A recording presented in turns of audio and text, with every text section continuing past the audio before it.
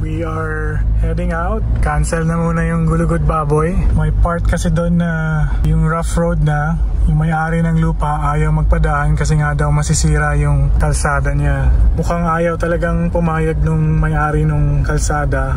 I don't know how right of way applies in this situation pero which is about 20-30 meters lang naman sana and then nasa campsite na kami we decided to just turn around. Uh, nagpicture na lang kami ng konti dun sa highest point na napuntahan namin. And then we are driving back to... We're looking for a campsite currently. Um, trying to check Camp Spotted Wood kung may available pa sila today and if tatanggap pa sila. We're also looking at Kaliraya. That's gonna be three over 3 hour drive from here. So anyway, I don't mind the drive. Kumbaga ang sa akin lang is kung may sure na campsite anyway beyond our control situation so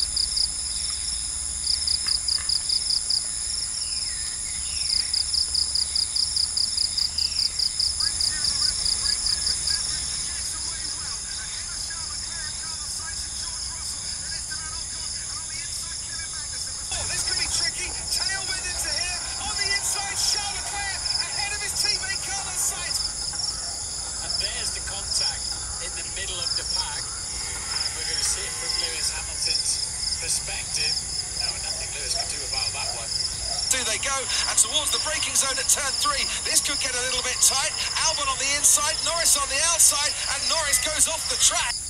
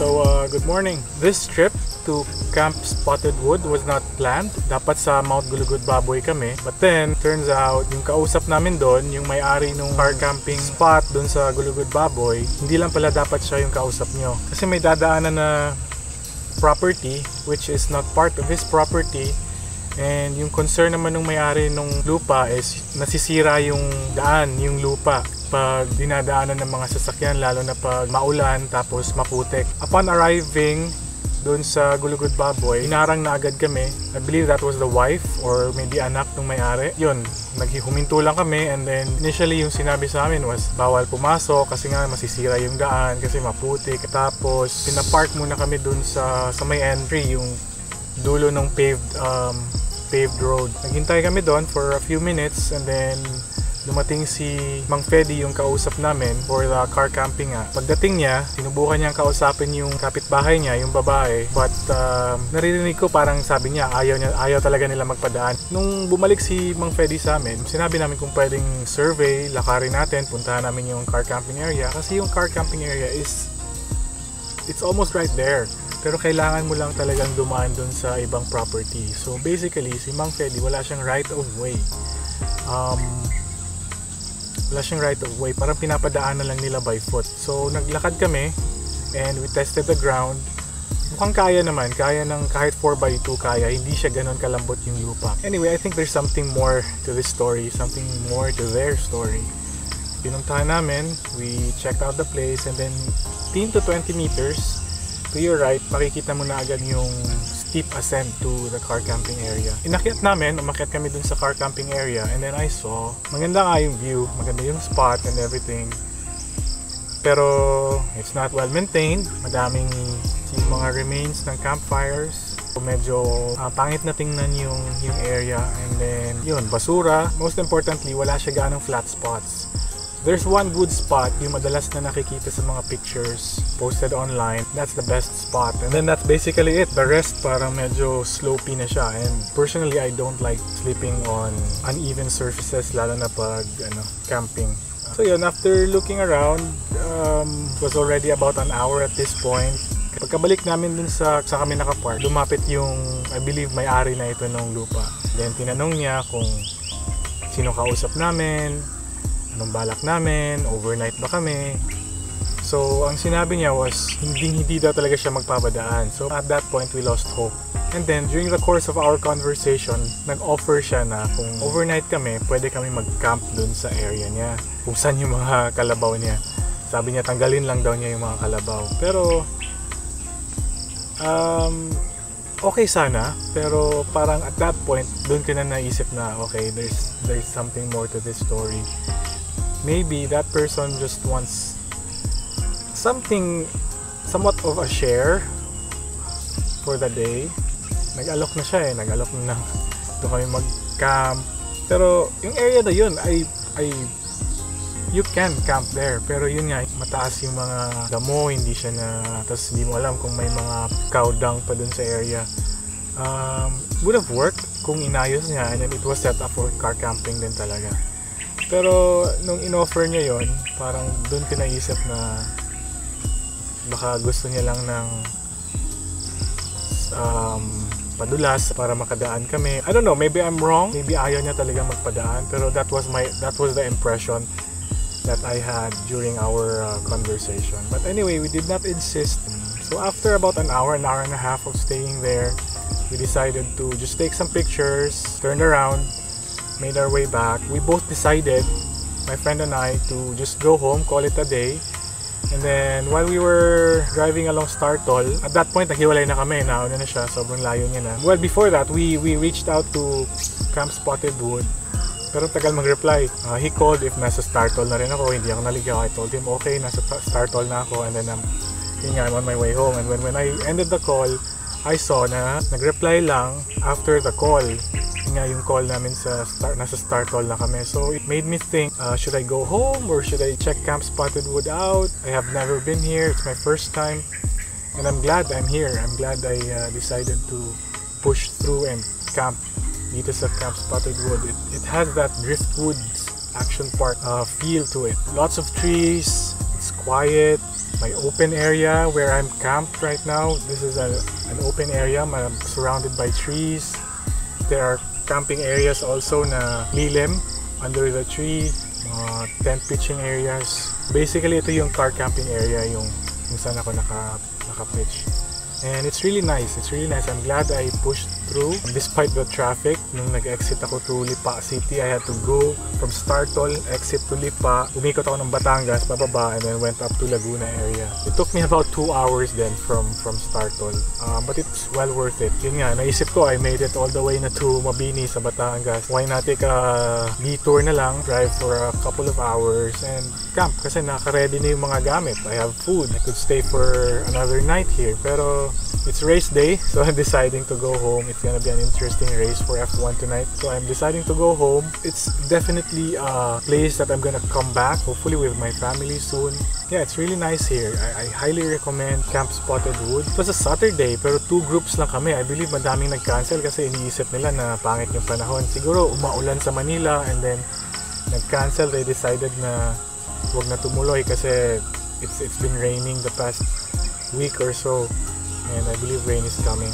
That's why I'm in this outfit. I need to break up soon. I have this uh, sleeves to protect me from the sun, scarf para hindi masakit sa batok and then the So anyway, that's the long story of how this came how this uh, camp came about. Just a quick background basically. So I'm glad I'm here at Camp Spotted Wood. It's a highly recommended campsite. Um, chill campsite. I paid 700, 500 for the car, 200 for camping. That's a fair deal. A lot of good spots here. A lot of good spots. Highly recommended. And then yung CR nila, very clean. Smells very good. Separating shower, separate, separating toilet so you don't have to line up if you're gonna go for the shower and then may gumagamit ng toilet or the other way around. And then yung hugasan nila, there are four sinks. Very big, um, parang yung sa bahay na meron kang paglalagyan ng gamit mo and then you have the sink and then it's a big table. It's really nice. I'll show you I'll overlay the video. I'll take a video.